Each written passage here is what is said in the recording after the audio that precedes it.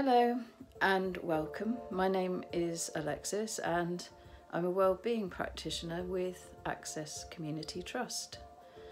And due to the unprecedented challenges that we're facing at the moment, I'm unable to get out into the community to deliver the mindfulness groups that were planned. So I thought it would be a lovely idea to bring a wellbeing resource to you that you can use at home. Just a short series of, of meditations, mindfulness meditations that you can tap into when you feel the need. Um, they'll be in various lengths, and we'll start off with an introductory session today and then organise things into topics that you might find interesting. So do keep an eye out for those. So just really very quickly, a bit about myself, why, why mindfulness. Um, I've always been interested in self-inquiry and self-improvement from quite a young age and looked into things like Buddhism, for example. Some of the teachings of, of Buddhist ideas are, are very pertinent really to, to having a good balanced lifestyle and living in ways that are altruistic and supportive and and enhancing for our well-being really um, over time my interests ranged all over the place but I, I in the last couple of years been interested in the work of um, Jon Kabat-Zinn.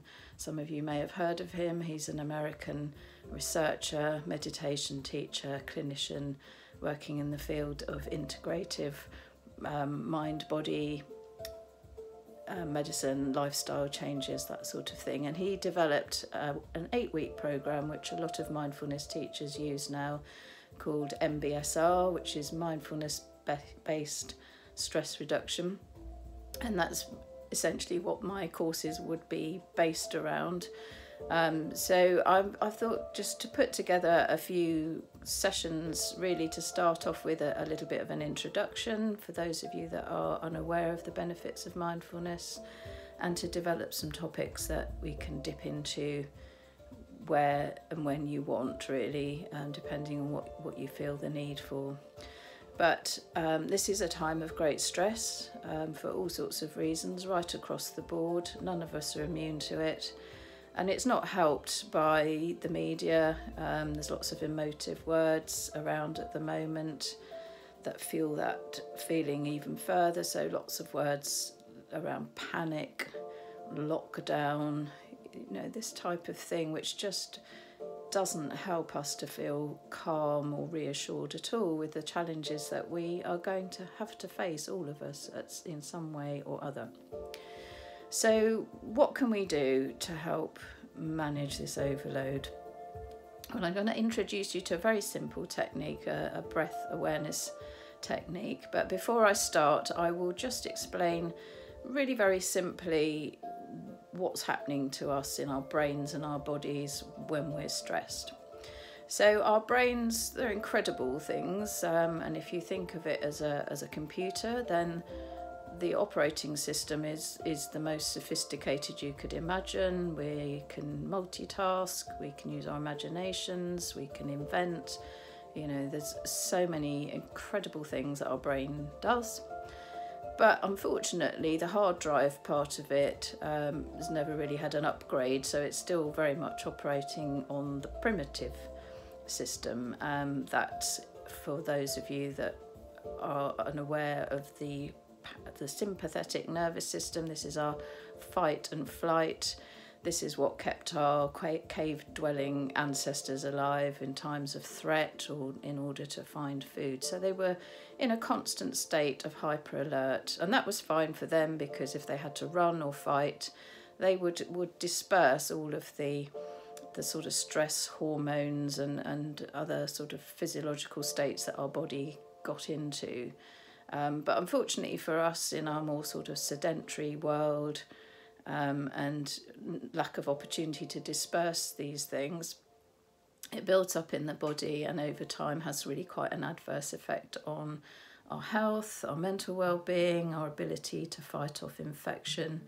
And obviously all of those things are incredibly important right now, I'm sure you'd agree. So one of the things that mindfulness techniques does is to as a kind of complete contrast to that, it will operate your parasympathetic nervous system or what's known as your rest and digest. So this is quite calming and it's a good sort of antidote to all the stress and overwhelm that we're feeling. So one of the ways that we can operate that is through breath awareness.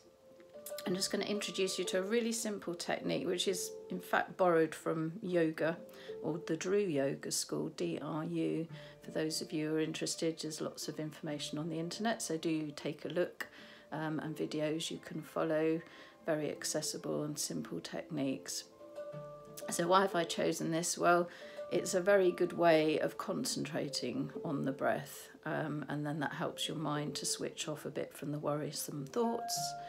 But also the physical technique we're going to use actually helps to really open up the lungs, helps you to co concentrate on the on the counting out of the breath, and then because we're breathing out for longer than we're breathing in, that's the key thing here really, is that it starts to operate that lovely rest and digest system and will help us to feel a lot calmer.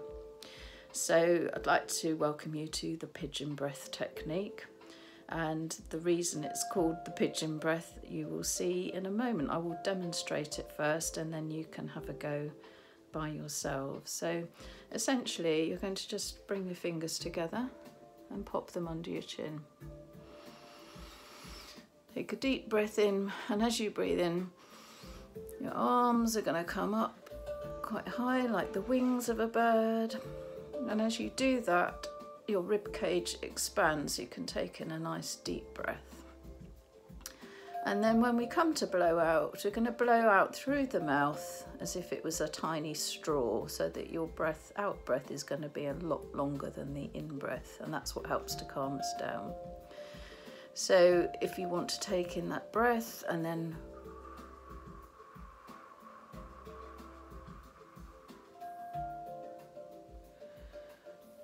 bring your wings down and your hands together and then lower your chin again. So if you want to have a go in your own time, we're going to take deep breath in, bring the wings up, just hold for a moment, and as you blow out, just count that breath so it will help to keep you focused.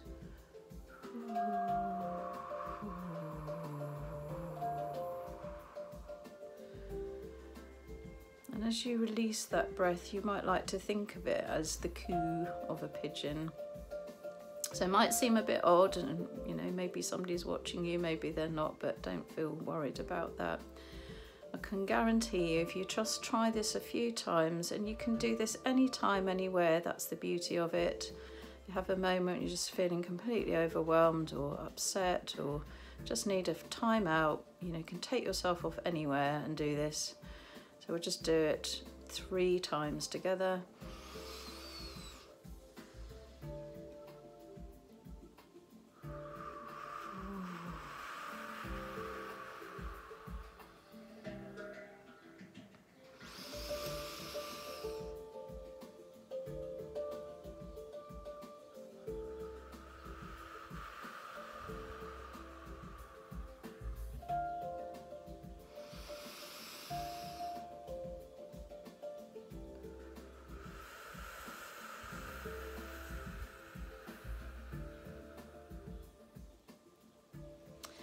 And it really is that simple. I hope that in doing that, as long as you feel you need to, that you will start to feel a lot more peaceful and calm. So do take the opportunity to do that when the time arises and you feel that need. And I will look forward to speaking to you again in the series of bite-sized sessions. Um, and in the meantime, just stay strong, stay safe, speak to your loved ones by the phone, whatever means you can, draw support from community. Um, and I'll look forward to speaking to you all again very soon. Take care now.